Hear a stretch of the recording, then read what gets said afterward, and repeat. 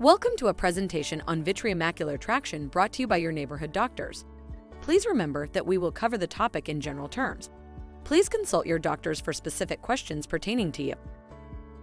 Vitreomacular traction is like a rubber band that is stuck to the back of your eye. The vitreous gel, which is a jelly-like substance that fills the back of your eye, can sometimes stick to the macula, which is the part of your eye responsible for sharp vision. This creates tension on the macula, like a rubber band being pulled tight. This tension can cause blurry vision and other vision problems. Vitreomacular traction, VMT, is a condition in which the vitreous gel, which is the clear gel that fills the back of your eye, pulls on the macula, which is the part of your eye responsible for central vision.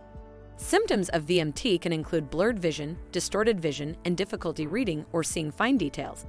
You may also experience a decrease in color perception or difficulty adapting to changes in light. In some cases, you may experience flashes of light or floaters in your vision.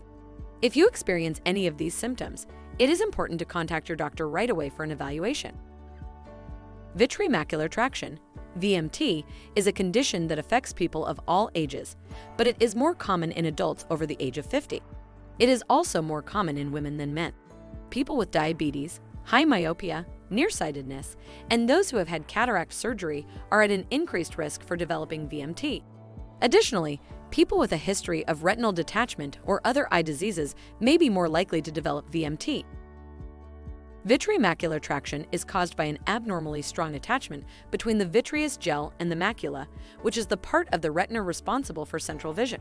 This attachment can be caused by a variety of factors, including age-related changes in the vitreous gel, trauma to the eye, inflammation in the eye, or a complication from eye surgery. In some cases, there may be no identifiable cause. Treatment for vitreomacular traction, VMT, depends on the severity of the condition. In mild cases, your doctor may recommend a watch and wait approach, where you will be monitored closely to see if the condition improves on its own. In more severe cases, your doctor may recommend a procedure called vitrectomy. This is a surgical procedure that involves removing the vitreous gel from the eye and replacing it with a gas bubble or silicone oil. This helps to release the traction and reduce any associated symptoms.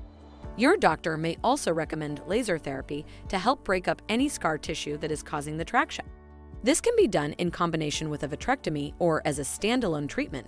Finally, your doctor may prescribe medications such as corticosteroids or anti-VEGF drugs to help reduce inflammation and improve vision.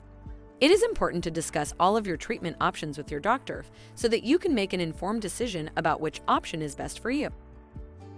The prognosis of vitreomacular traction is generally good. In most cases, the traction resolves on its own without any treatment. However, if the traction persists for more than six months, it may lead to complications such as macular hole formation or retinal detachment. If these complications occur, they can cause permanent vision loss. Therefore, it is important to monitor the condition closely and seek prompt medical attention if any changes in vision occur. Thank you for listening to this presentation brought to you by Talking Raymond. For information, check us out retinally.com/info. Be safe. Love you.